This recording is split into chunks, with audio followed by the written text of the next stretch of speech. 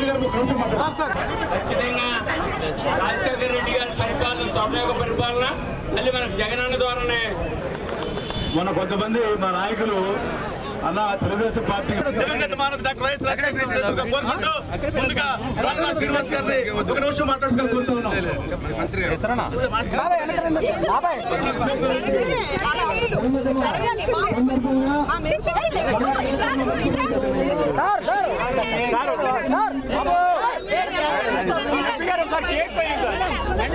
నందన వేడుకెళ్ళి ప్రపంచ వైద్యంగా కూడా ఈరోజు ప్రజలందరూ కూడా తెలుగు వాళ్ళందరూ కూడా జరుపుకుంటున్నారు.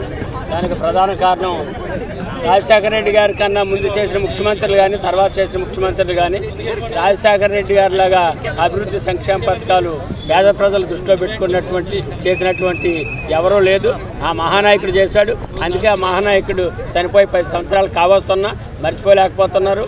రాజన్న పరిపాలన మళ్ళీ జగనన్నతోనే సాధ్యమని ఆ స్వర్ణయుగ పరిపాలన మళ్ళీ జగన్ గారి దారి వస్తుంది. రాముడి పరిపాలన చరిత్రలో చదివాము. మరి రాజశేఖర రెడ్డి గారి పరిపాలన చూసాము అలాగే అంతకన్నా మిన్నగా జగనన్న ప్రజారంజిక పరిపాలన అందిస్తాడు.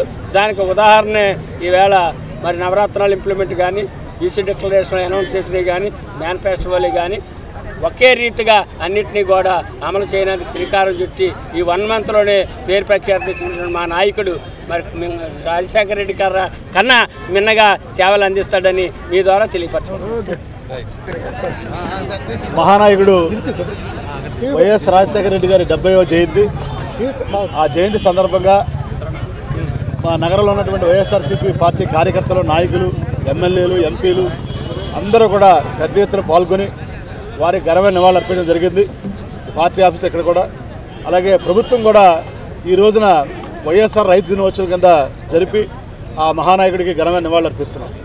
ఈ రోజున విశాఖ జిల్లాలో మధురవాడలో కానీ సొంటాంలో కానీ అలాగే చోడవరంలో కూడా మరి అధికార కార్యక్రమం నిర్వహించడం జరుగుతుంది. మరి అలాగే అన్ని నియోజకవర్గాల్లో కూడా అధికార కార్యక్రమం నిర్వహించడం జరుగుతుంది. మా ఎమ్మెల్యేలు మా పార్టీ కార్యకర్తలు నాయకులు ప్రజలందరూ కూడా స్వచ్ఛందంగా పాల్గొని ఆ మహానాయకుడికి ఘనమైన వాళ్ళు అర్పించడం జరుగుతుంది. ఎందుకంటే ప్రపంచవ్యాప్తంగా మనకు తెలుగువారు గుర్తింపు వచ్చిన నాయకుడు వైఎస్ రాజశేఖర రెడ్డి గారు. ఎందుకంటే ఈ రోజున దేశంలో చాలామంది ఒక రుణమాఫీ దగ్గర నుంచి తర్వాత పెన్షన్ల దగ్గర నుంచి తర్వాత ఉచిత విద్యుత్ దగ్గర నుంచి ఆరోగ్యశ్రీ దగ్గర నుంచి ఫీజు రింబర్స్మెంట్ దగ్గర నుంచి ఇలాంటి ఎన్నో పథకాలకి ఆరాధ్యుడు వైఎస్ రాజశేఖర రెడ్డి గారు. ఇప్పటికీ పేద ప్రజల గుండెల్లో చిరస్థాయిగా నిలిచిపోయిన వ్యక్తి వైఎస్ రాజశేఖర రెడ్డి గారు. ఈ విషయం నేను చెప్పాలా మూడు నెలల క్రితం ఇండియా టుడే మరి ఓఆర్జీ నిరసన సర్వే చేస్తే ఇప్పటివరకు పరిపాలించిన ముఖ్యమంత్రులు ఎవరు బెస్ట్ ముఖ్యమంత్రి అని చెప్తే అరవై నాలుగు శాతం మంది వైఎస్ రాజశేఖర గారు బెస్ట్ ముఖ్యమంత్రి అని చెప్పారు. అది ఆయనకు ఉన్నటువంటి పరపతి ప్రజల్లో. అంటే చనిపోయి పది సంవత్సరాలు అయిన తర్వాత కూడా మరి ఆయన పరపతి ఏమాత్రం తగ్గలేదు. ఈనాటికి పేద ప్రజల గుండెల్లో చిరస్థాయిగా నిలిచిపోయాడు. తెలుగు ప్రజల ఉన్నంత వరకు తెలుగు జాతి ఉన్నంత వరకే తెలుగు ప్రజల గుండెల్లో చిరస్థాయిగా నిలిచిపోయే వ్యక్తి వైఎస్ రాజశేఖర రెడ్డి గారు.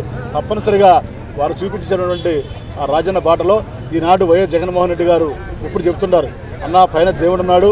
మరి కింద నాకు ఎవరు వీళ్ళు? చంద్రబాబు నాయుడు ఎవరు? పోటీ కాదు. నాన్న పేద ప్రజల కోసం ఒక అడుగు వేస్తే నేను రెండు అడుగులు వేస్తానని ఈరోజు చూశారు మీరు.